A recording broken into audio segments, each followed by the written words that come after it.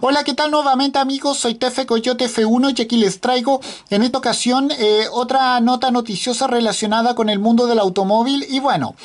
eh, se ha hecho oficial porque el Salón del Automóvil de Ginebra eh, regresará el año siguiente, o sea 2022 y bueno, luego de dos años de, de ausencia por culpa del COVID-19, uno de los salones automovilísticos más importantes del calendario está de vuelta para celebrarse. Eh, entre los días 19 y 27 de febrero del año siguiente y bueno, vamos a hablar un poco de aquello. Bueno, se ha hecho oficial porque después de dos, eh, porque después de dos años de cancelaciones por culpa de la pandemia que fue originada por el COVID-19, la primera casi eh, en el último ante el aumento de los contagios precisamente en Europa, el Salón del Automóvil de Ginebra volverá para el próximo año, sea 2022, los organizadores del GI, eh, GIMS anunciaron que ya abrieron las inscripciones para las marcas automotrices que quisieran estar presentes en el evento y que están trabajando para poder recibir eh, visitantes en la edición número 91 del Salón del Automóvil más importante de Europa, que se celebrará entre los días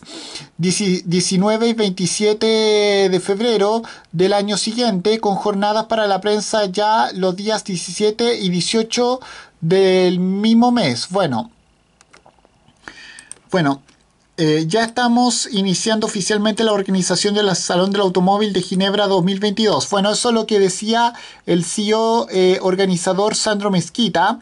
Y bueno, mi equipo y yo estamos, estamos ansiosos por presentar nuestro concepto a los expositores y posteriormente al público. Realmente esperamos que la situación sanitaria y las medidas políticas relativas al COVID-19 nos permitan darle vida. Bueno. Bueno, aunque la vacunación ya está tomando ritmo en buena parte del planeta, augurando un 2022 mucho más optimista lo que a medidas COVID se, está refiriendo, los organizadores ya adelantaron que para esta próxima versión será eh, sustancialmente diferente a la de los años anteriores, aunque no se dio detalles acerca de lo que puede suponer. Bueno, el anuncio sin duda es buena noticia para un evento que no pudo celebrarse durante dos años, coincidiendo con las peores olas de contagio de la pandemia. De hecho, la 2019 fue especialmente dolorosa ya que acabó terminando cancelada cuando ya estaba prácticamente preparada para celebrarse. El golpe económico fue tal que los organizadores terminaron, vendiendo el evento que fue comprado por la compañía eh, Palexpo, responsable del Centro de Exhibiciones de Congreso de Ginebra, de Ginebra, donde se celebra todos los años este evento. Como sabemos, este, este regreso eh, supondrá también una oportunidad para reinventar un evento que los años siguientes, más allá de la pandemia, había perdido atractivo para algunas automotrices que eh,